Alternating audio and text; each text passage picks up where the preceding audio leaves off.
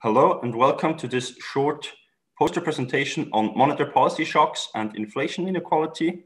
I am Christoph Lauper. I'm a PhD student at the University of Lausanne, interested in macroeconomics, monetary policy, and international economics.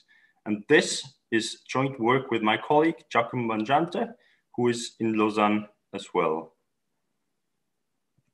Now, in order to talk about inflation inequality, we have to talk about individual inflation rates, and we calculate those with the help of individual consumption baskets that we combine with item level price data.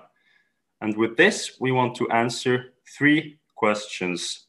First, does monetary policy influence the distribution of individual inflation rates?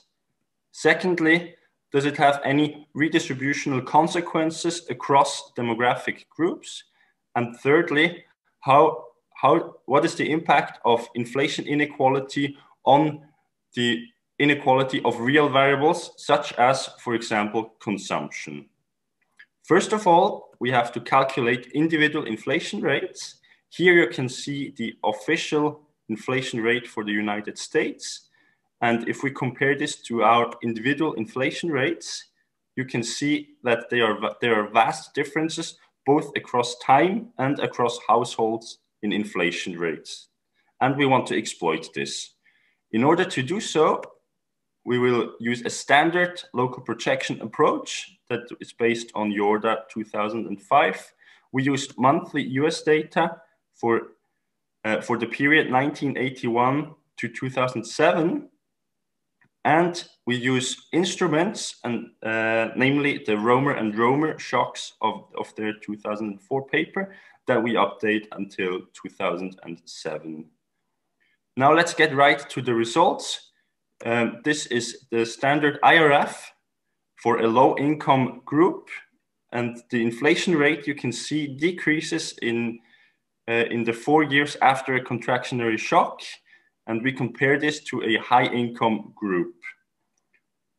Here you can see that the average inflation rate where this, uh, where this IRF starts is actually uh, lower for high income groups than for low income groups, but we can see a high degree of convergence across the two inflation rates after a contractionary monetary policy shock.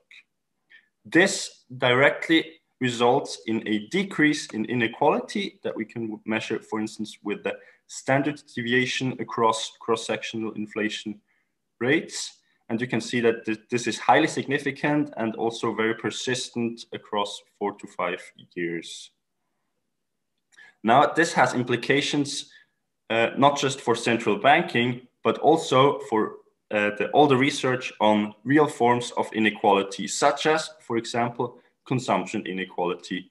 Here is one result of the Coibion et al. 2017 paper, where they find that a monetary policy shock increases consumption inequality. But they only control, uh, they only deflate by, a, uh, by an aggregate inflation rate. And if we control for the differences in inflation that we saw, we can see that about a third of the effect vanishes.